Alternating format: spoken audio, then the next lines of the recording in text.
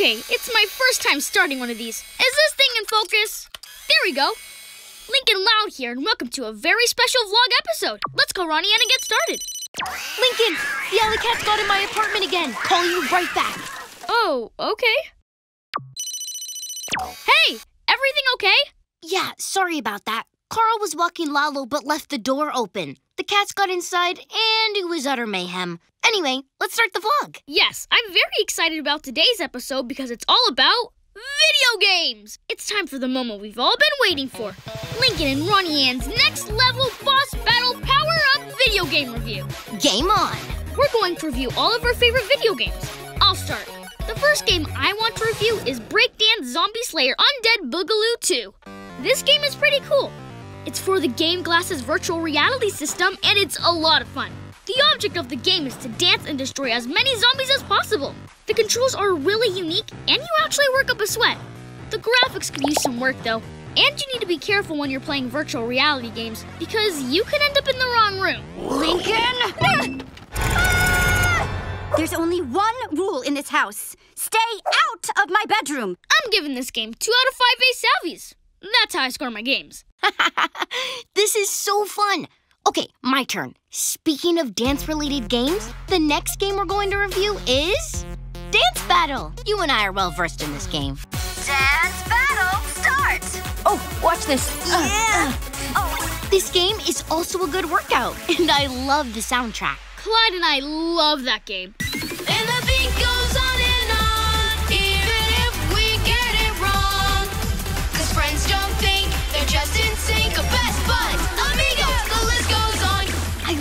Wish they would make a home version, but this is a great game to play with a friend at the arcade. And I also heard they might be adding 12 is Midnight songs. Sid and I are so excited. I'm giving this game 3.5 out of 5 unicorns. That's how I score my games. Okay, Lincoln, what do you got next? All right, the next game I'm reviewing is Total Turbo 22. This game has a really cool control system because the controller is actually a steering wheel. Wow, it's just like a real spinny thingy. That's so cool. How have I never played this before? Yeah, the graphics are pretty great, and it actually helped Leni learn how to drive. She struggled with the game a bit at first. Leni, you have to stay on the road. But with a little coaching, she was a pro in no time. What's the point? We're not going anywhere fun. Sure we are. We're going to, uh, the mall. Why didn't you say so? Whoa! Go, Leni! I'm giving this game four and a half out of five ace savvies. I bet you Carl would like that game, but it'd have to be about driving trains. Choo choo! Chicka chicka chicka chicka. Okay, next game Muscle Fish Fighter. This game is one of my all time faves. The graphics are awesome, the characters are so cool, and I just so happen to be very good at it. Yeah, don't remind me. I will beat you one day. You've been Steve. Whatever you say, Link.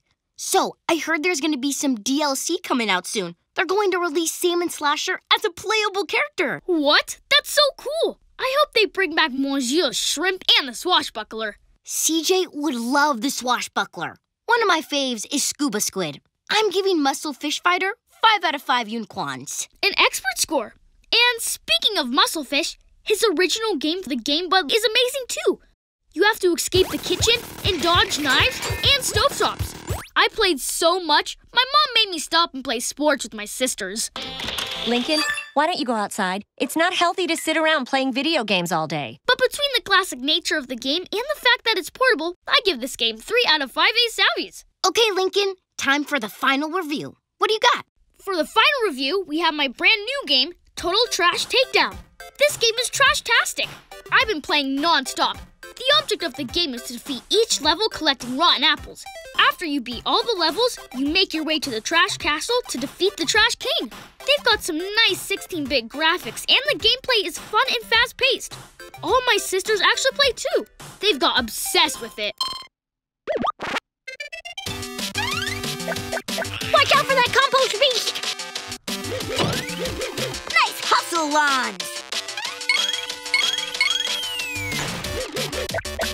Guys, don't go in that dumpster! Look for the recycling bin shortcut. Okay, okay, okay. Oh, yeah! Level four, here we come. Woo! Team Lab for the win! Lana was even having dreams about the game. You wanna play? Yes, more than anything. So between the graphics, the gameplay, and the fact that the whole family can join in on the fun, I'm giving this game 5 out of 5 Ace Savvies. But before we go, I've got to give some honorable mention to some mobile games like Raging Rivers and Jolly Hollow. My dad loved that game. Step aside, Lincoln. We have a game Daddy will actually like. Presenting Jolly Hollow. You build a pretty, pretty house and show it off to your friends. Oh, I think I'll build one that has more than one bathroom. You know, Lincoln, reviewing video games has got me thinking. What if we made our own video games? That's such a cool idea. What would yours be? I think mine would have to be a skateboard game. Maybe a mobile game or an app. Something like an infinite runner where you have to skate through the city dodging obstacles. I would play that. You'd have to be the main character, though. Definitely. And maybe every once in a while, a horde of alley cats comes after you, and you have to dodge the obstacles before they hit you. Wonder where you came up with that idea. What would it be called? Something simple like City Skate or Skateboard Bonanza. What about you, Link? What kind of game would you create? Mine would be an Ace Savvy and One Eyed Jack crime detective game where you have to solve puzzles to crack cases. I could have guessed it would have been about Ace Savvy. And after each investigation, you have to fight a boss battle with one of the villains like the Card Shark or the Card Countess or Snake Eyes. Oh man, I'm getting so excited just thinking about it. Yeah, come to think of it, all this talk about video games really makes me want to play Muscle Fish Fighter. I'm gonna go download Salmon Slasher and practice with him. Yeah, I actually just uncovered a secret level in Total Trash Takedown, and Lana and I are gonna try and beat it today. Well, I guess that's it for this episode. Bye everyone! Happy gaming! Game over. See ya!